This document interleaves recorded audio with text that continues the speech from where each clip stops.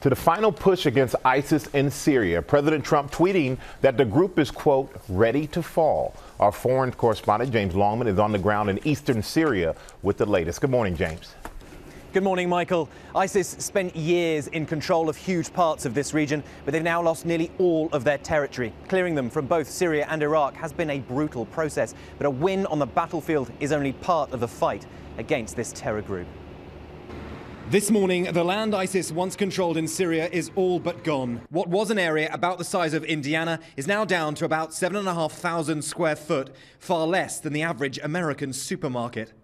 American and coalition forces here in a standoff with about a thousand jihadis who are holding their own people hostage, shooting those trying to flee.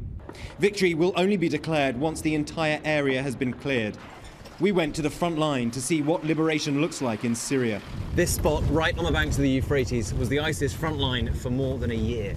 Entire areas flattened, buildings now just rubble. The same story in hundreds of villages across this region.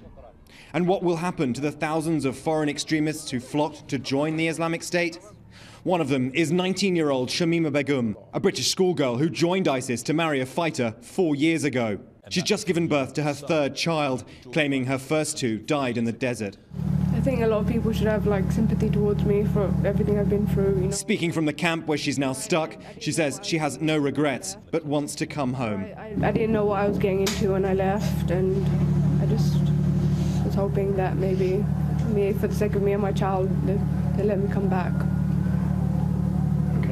Because I can't live in this camp forever.